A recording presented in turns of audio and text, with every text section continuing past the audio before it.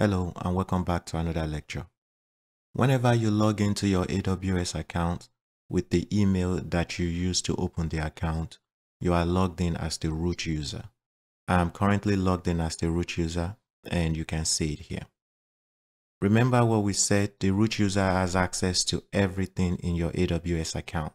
So you don't want to use this root user account for your day-to-day -day activity. According to this AWS documentation for AWS account root user, you can see that information here. Here, this information basically tells you that you should not use your root user account for everyday tasks. Even for administrative tasks, you should not use your root user account. Instead, you should follow best practice and create your first IAM user. Then you can use that IAM user for your day-to-day -day maintenance of your AWS account. So that's what we are doing in this lecture. In this lecture, we are going to create our first IAM user that we will use to maintain this account. We are also going to use this IAM user to complete all of our projects. So the first thing I want you to do is log into your AWS Management Console as the root user. Then once you log in as the root user, I want you to type IAM up here. Then select IAM. Once you are on the IAM dashboard, we are going to follow these steps to create our IAM user. First, we are going to create our IAM user. Then we will put the IAM user in a group. Then we will attach our permission policy to the group. This is what AWS recommend for best practice.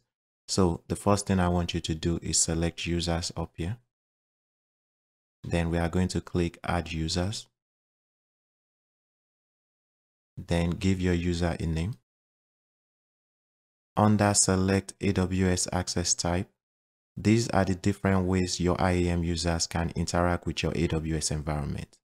For now, we are only going to focus on the management console. So here, we are going to select password AWS management console access.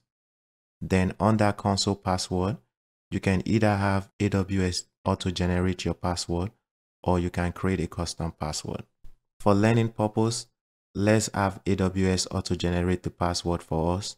Then when we log in as the IAM user for the first time, we are going to reset the password. So here, select auto-generate password and make sure this is checked. Then we are going to click next for permissions.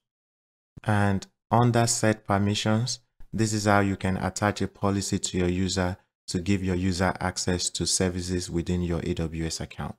But for AWS best practice, we are not going to attach a policy to the user.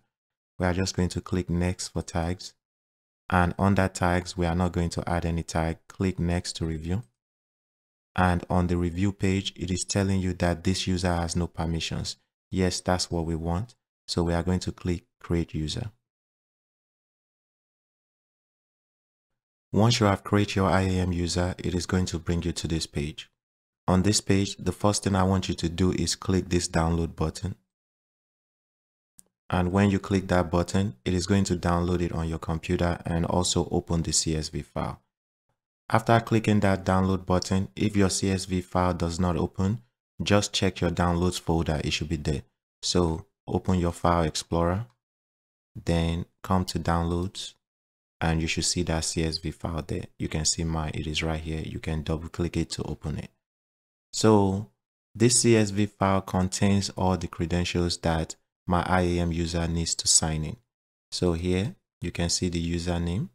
I'll expand this. This is the password. And here, this is the link that my IAM user can use to sign in. I'm going to minimize this. And on this page, let's close it by clicking close here. And we have successfully created our IAM user. You can see it here. I'm going to close this. Now that we have created our IAM user, the next thing we are going to do is create a group and put this IAM user in that group. We want to use this IAM user for administrative purpose. So let's create a group that we are going to call admin. Then we will put this IAM user in that group. So to create a group, we are going to select user groups up here we are going to click create group. We'll give the group a name. I'll call the group admin. Then scroll down.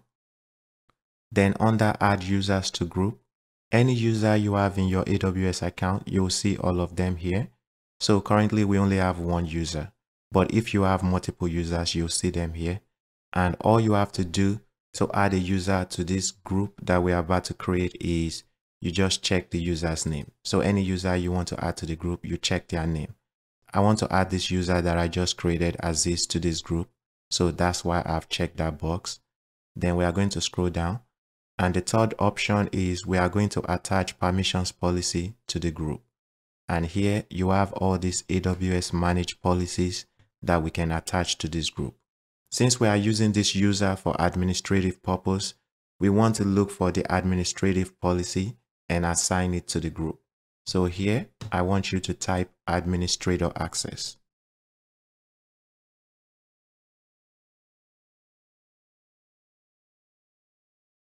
Make sure you type administrator access the same exact way you see it on my screen. So it is a capital A and capital A here and press enter and it is going to give you all these results. The one you want to select is the administrator access here. So make sure you check this box here.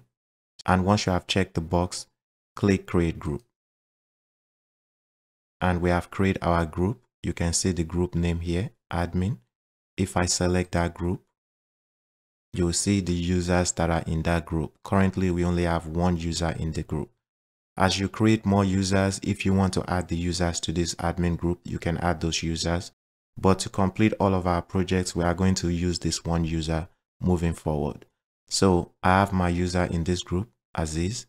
And if you select the permissions tab, you are going to see the policy, which is administrator access that we assign to this group.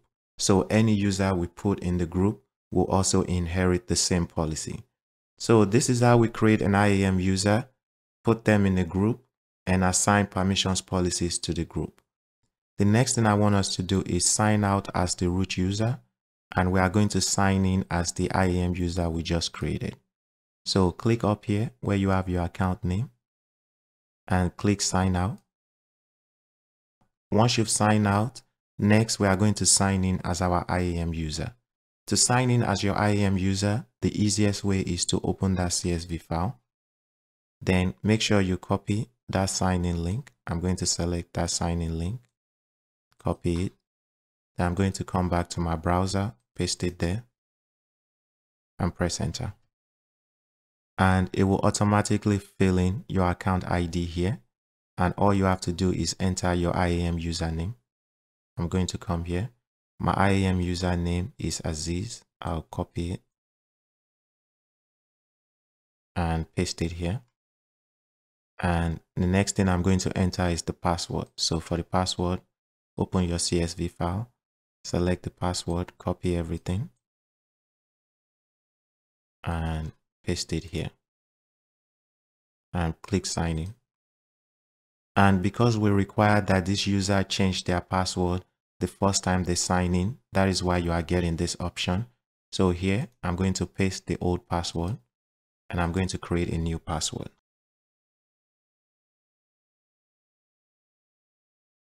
Once you create a new password, click confirm password change. And there you go. We have signed in as our IAM user. You can tell that you are signing as an IAM user if you look up here. You can see my username at the account ID. So anytime you see any username at the account ID, or sometimes when we change it to alias, you'll see at the account alias, that means you are signing as the IAM user. The next thing I want us to do is go to our IAM dashboard. So any services you currently visited, you will see them up here. Since I last visited IAM, you can see it here. But I also want us to get in the practice of looking for the services up here. So here I'm going to type IAM and select IAM. And it is going to bring you to the IAM dashboard. On this IAM dashboard, you will see the summary of all your IAM resources.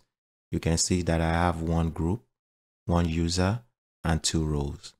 And another information I can see here now is for the IAM user that I just created, AWS wants me to add multi-factor authentication for that user. That is why you are seeing this warning sign here. In the next lecture, we are going to add multi-factor authentication for the IAM user we just created. That will be it for this lecture. So in this lecture, please remember what we did. We created an IAM user, we created a group and we put that IAM user in the group. Then we assign our permissions policy to the group. Thank you guys and I'll see you in the next lecture. Bye.